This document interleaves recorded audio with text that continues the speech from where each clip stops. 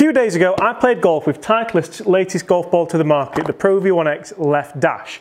And you guys all said, James, how does it compare to the standard Pro V1X? Does it compare to the standard Pro V1X? How does it feel compared to the standard Pro V1X? So let's do it. And let's do it now.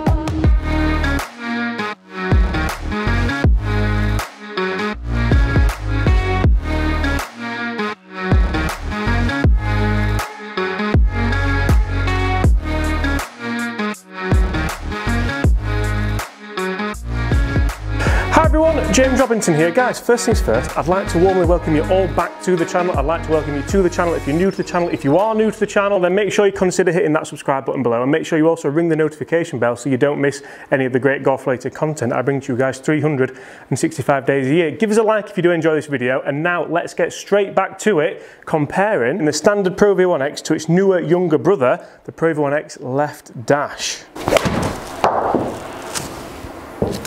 So guys, if you do want to see a little bit of a more in-depth kind of talk about the Pro V1X Left Dash, how it came about, why it came about, what it's supposed to do, what it's designed to do, make sure you check out the video where I take on Pete, who brought me these golf balls try out. Massive thanks again for that, Pete. Also guys, I did a giveaway for a sleeve of these, so that is on my community tab now.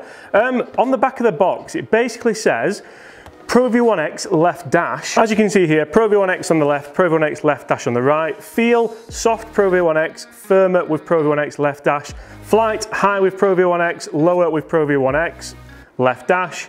Iron spin, lower iron spin with the left dash. Short game spin, lower with the left dash. So basically the Pro V1X golf balls are designed for players seeking a higher flight, similar to Pro V1X, with dramatically lower full spin and firmer feel. That is of course the left dash. Pro V1X Left Dash is a Titleist customized performance option designed to fit players with very unique launch characteristics. Well, I've got very unique launch characteristics for left. They don't really get as unique as my launch characteristics on certain days. So basically this golf ball was a little bit, and I have to say we're hitting at the moment the standard Pro V1X, and what we're gonna do is test the standard Pro V1X against the Pro V1X Left Dash with pitching wedge, 7 iron and driver, and just say exactly how much difference is there. Is there a big difference? Is there a huge difference? Should you be gaming this ball? Should I be gaming this ball. We've even gone to the extreme lengths for the fairness of the test where we're using the same number. Um, that was by chance, but it works for the video anyway. And the real interesting thing for me is on the box it says nothing about the driver. It doesn't say longer drives, it doesn't say lower driver spin, it doesn't say bomb it past your mates. It just, it just kind of focuses on like iron spin. So I am a pretty low spin player, especially with irons anyway. So I'm assuming that this ball isn't necessarily going to suit me, or should I say the left dash ball. We're gonna hit a handful of shots with each ball and each club. And just see exactly what the difference is. They are like the red arrows today. Right, seven iron with the left dash and immediately you get that different sound, you get that clickier sound, which when I first hit it, I didn't particularly like it, but then actually I got used to it and I have used these a little bit more since the video we filmed. I must say I kind of liked it. I kind of don't mind that kind of harder feel. Keep saying kinda. I didn't kind of like it, I did like it. Right, Pro V1X left dash, 7 iron. That felt hard. Oh, yes, please. And it, I found it really interesting talking to Pete about these golf balls because Pete was, I think, it eight handicap. Pete, I'm really sorry if I've got that wrong, but you are, oh yeah, you said a struggling eight handicap or a nine handicap. And for me, how good do you have to be to see a difference in a golf ball? How, how pure a ball striking, how the word is consistent, isn't it? How consistent do you have to be to see that huge difference? I'm worried that, to be honest, I'm going to stand here, I'm going to hit dozens of shots, we're going to watch a video, we're all going to have a good time together. You're going to hit that like button anyway. You're probably going to hit a few comments below, we're going to discuss things together. And at the end of it, we're going to see no difference because I maybe not good enough to see that difference which is potentially why they haven't marketed this ball like they could have done, like they do with the Pro V1X, like they do with the Pro V1 or even the AVX. Maybe. Might be wrong, but who knows. Lovely. Right, let's hit some pitching wedges.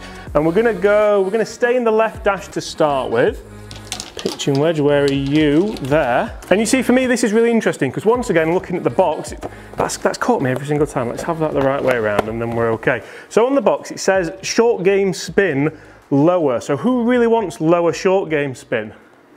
everyone wants to see it kind of razz back a little bit, don't they? And harder feel. When I think short game, I think softer feel. Um, anyway, you see on the back of the box as well, there is a bit of a demonstration about the ball. It's got spherically tiled 328 teta, tetrahedral, tetrahedral dimple design. Um, it's, it's got some dimples on it.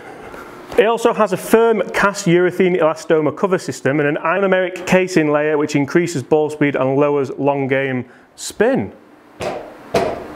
So maybe we will see some low spin drives. Anyway, for now, pitching wedge, still left dash, come on, around 135 yards. Oof. There we go. It is, we've got backspin as well. It is definitely the firmest feeling golf ball I've ever played with. So if you do want a firm feeling golf ball, if you want it to feel a bit kind of clicky, clicky, then it could well be the ball for you, but make sure that you don't just go and get these and buy them and use them for the sake of it because you think that you need low spin. If you feel like you need low spin, if you feel like you're going to benefit from that, go and try them on a launch monitor, go and try them with a PGA Pro, go and get a golf ball fitting because we all spend hundreds and hundreds of pounds on getting fitted for the right golf bag. Well, not the golf bag, but the clubs go in it. Golf ball, so many people just use what they find and it, it amazes me really, it does. Right. Um, I think we might take that one out. All right. Come on, James, what was that? Time for the standard Pro V1 with the pitching wedge. And I do kind of feel at home using the standard Pro V1X because I did use it before I started kind of using the TP5X, the pix. So I am used to that firmer feeling golf ball, which for me maybe does stand me in good stead if I was to make a switch in the golf ball department. I'll let you think about that one for a second. Right, come on, a couple of nice pitching wedge swings, then we can have some fun and whale driver around for a few minutes.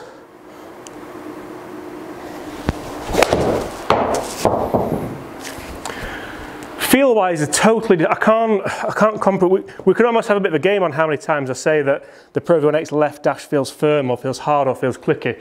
The Pro V1X feels soft and equivalent to it and that's I mean that's a big shout isn't it? A Pro V1X feeling soft.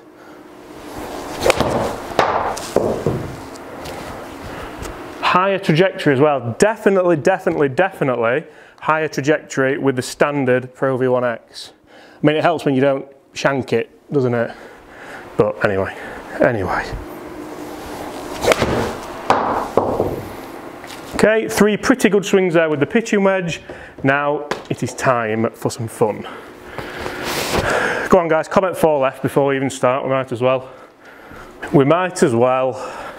So I'm going to stick with the standard Pro V1X to start with. We're going to hit a bunch of drives, uh, hopefully straight, hopefully long, hopefully, hopefully we don't injure ourselves. There's always that, isn't there?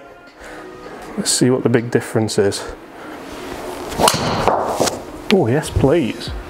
Enjoyed that one. Playing later on with Tom, funnily enough. Tom's a plus one handicap. I'm going to have to take my A game. So I'm kind of treating this video as a bit of a warm up for that as well. So 2-9 spin, that's not bad at all.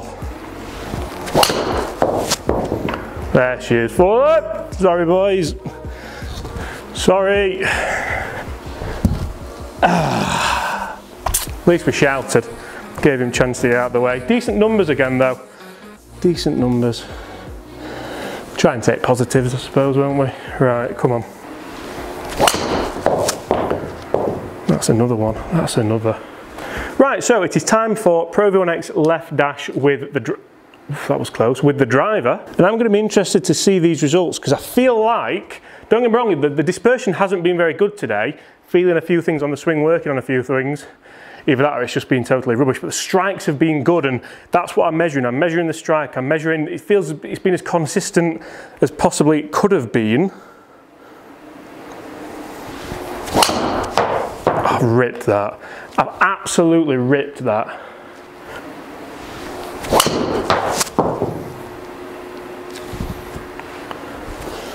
Well, they're finding the fairway, these ones as well, which is always nice. Right, last shot of the test. Guys, hit those comments below. What do you think the difference is? Are you going to try this ball? Are you going to slide by it? Not even think about it, not even test it? Are you just going to try it and see what it's like? Are you going to game it? What am I going to do?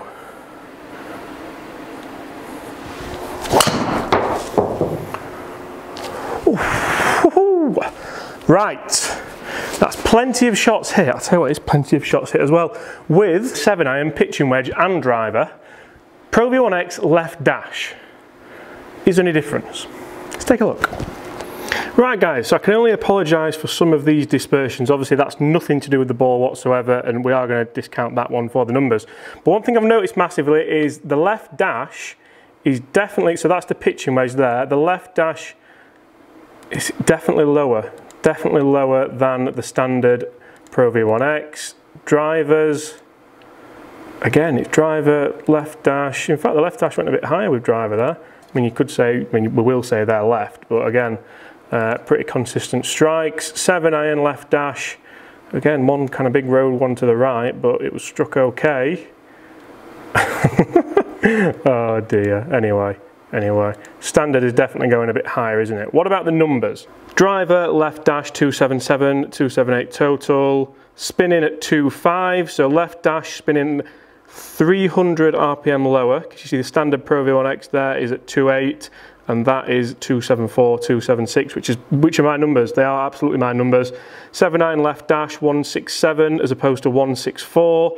Uh, and the spin there 5085 as opposed to 5600. So again, it's doing what it says on the tin. The 79 with the left dash is spinning lower. Pitching wedge standard 35 as opposed to 34. Very, very, very similar. All very similar numbers.